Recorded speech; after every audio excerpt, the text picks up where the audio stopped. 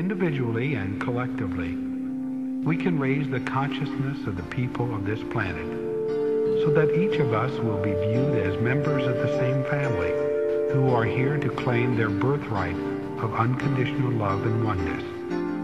If we don't do it, who will?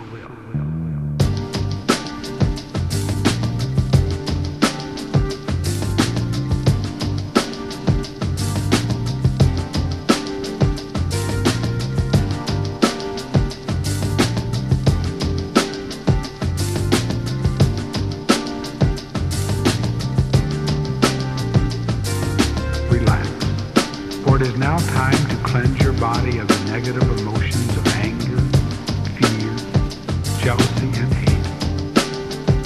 To accomplish this cleansing, the next breath that you take will increase the size of your body, actually expand from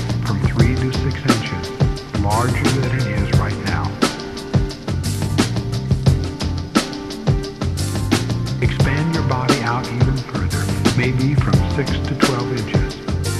Just let it expand in your mind and your imagination.